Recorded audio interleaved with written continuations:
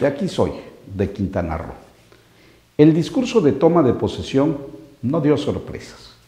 Fue el del PG en campaña y el mismo que trae desde hace 12 años. La única diferencia es que ratifica que no meterá a la cárcel a los corruptos. Será una amnistía o olvido, borrón y cuenta nueva, para atrás ni mirar, pero que a partir de hoy, del 1 de septiembre de 2018, no se perdonará ni el más mínimo acto de corrupción. Y la advertencia fue para todo mundo, hasta para su esposa y sus hijos. Solo responderá por Jesús, su hijo que es menor de edad. En lo personal, creo que ese perdón es para picar el orgullo del pueblo sabio y que pidan con mayor énfasis, con la fuerza y las exigencias suficientes, que no le quede de otra que lo lleve a lavarse las manos en público para perseguir con énfasis y enjundia a esos corruptos que se cuentan por miles, desde lo público y también desde lo privado. Porque el presidente del pueblo es un hombre bien informado, pero lo que va a ir conociendo en estos días le retorcerá el hígado y le mostrará lo inimaginable, lo que hará que sí se les vaya encima. Así que no pueden dormir tranquilos ni Peña, ni Videgaray, ni los del OHL, ni el ex de la SCT, ni muchos otros que traen cuentas grandes. Peña negoció hasta donde pudo. Los que están encarcelados o bajo proceso no deben de hacerse a la idea de que ya están a punto de salir. Los van a mantener refundidos y algo más.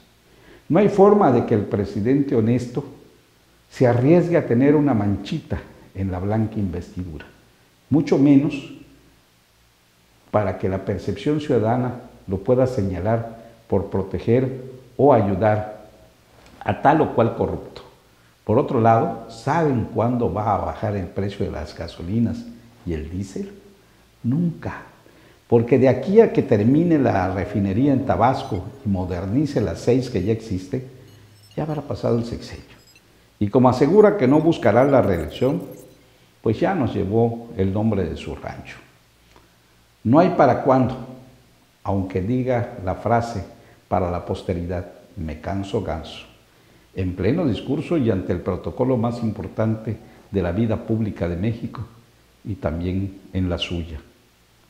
Lo que sí podemos prever es que vuelve a lo que le gusta, a la campaña política, al contacto con el pueblo. Ese contacto que lo nutre, que le da vigor, fuerza, lo rejuvenece. Esta campaña es de tres años con fecha y día de caducidad, el primer domingo de julio del 2021.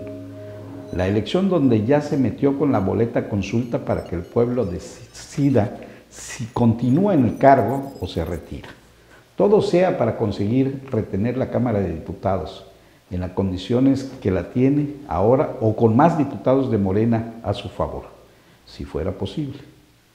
El presidente de la República, Andrés Manuel López, tiene la mira bien puesta, sabe lo que quiere y tiene esa prioridad, que de lograr triunfar en ella, tendrá segura la segunda mitad de su mandato. Podrá definir si se reelige o a quién pone en la presidencia para sucederlo.